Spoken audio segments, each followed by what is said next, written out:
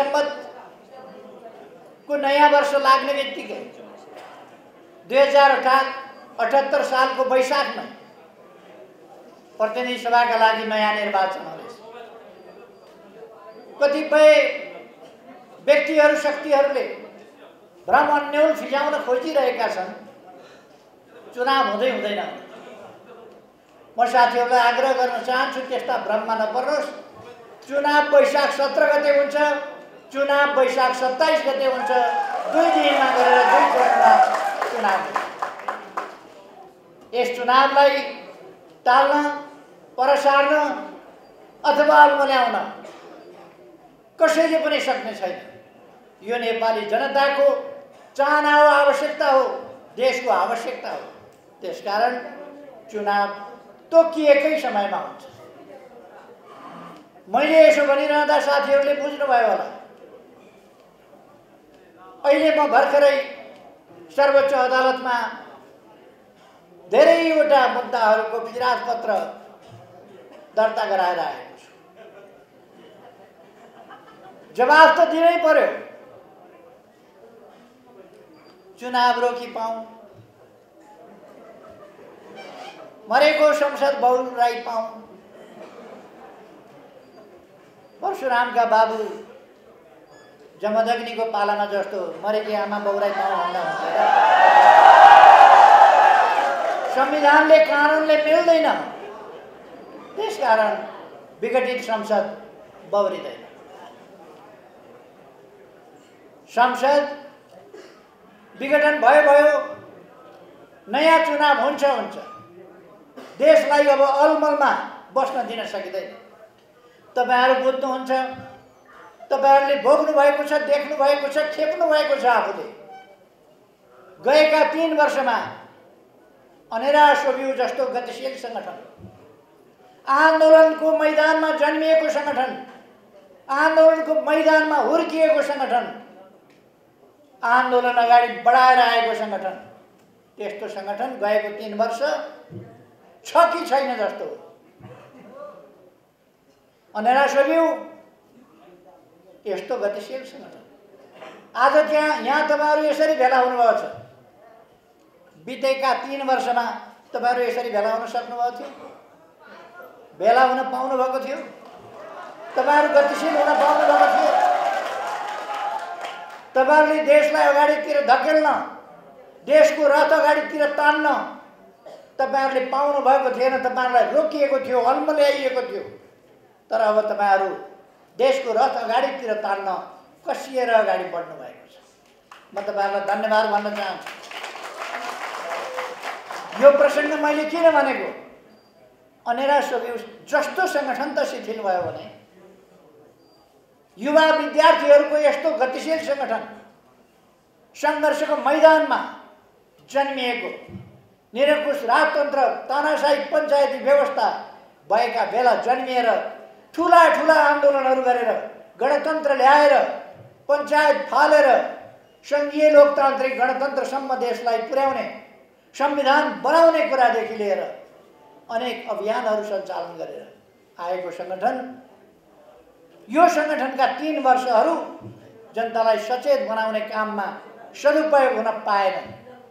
जनतालाई सङ्गठित गर्ने काममा सदुपयोग हुन पाएनन्।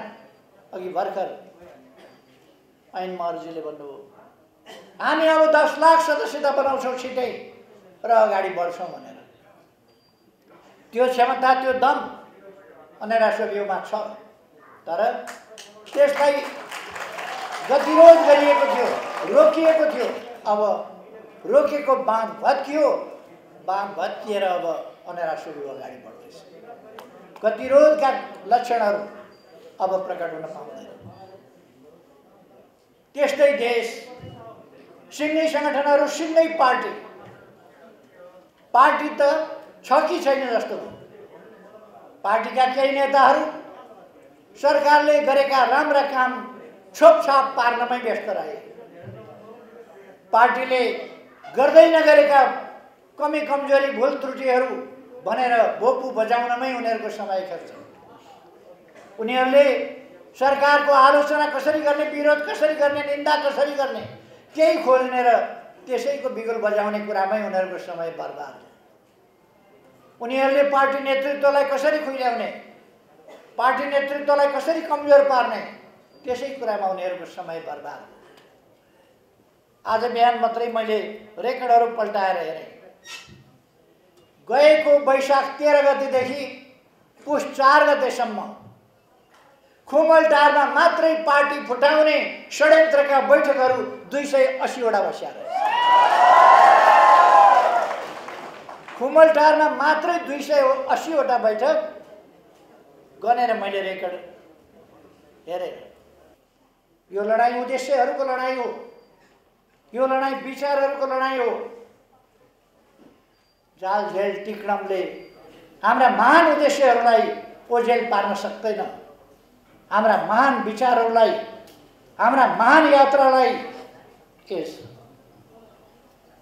सानोतिनो व्यवधानले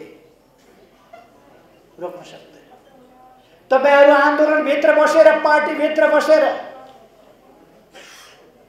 घाँसभित्रै छुपेर बसेको लुकेर बसेको हरियो साप जस्तै आन्दोलनभित्र बसेर आन्दोलनलाई कमजोर पार्ने आन्दोलनलाई बदनाम गर्ने कम्युनिस्ट पार्टीको दुई तिहाई कामै लागेन भन्ने दुई तिहाई हामीसँग अलिकति थिएन तर उहाँहरूले दुई तिहाईको सरकार कामै लागेन भनेर कराएको कराइरहनु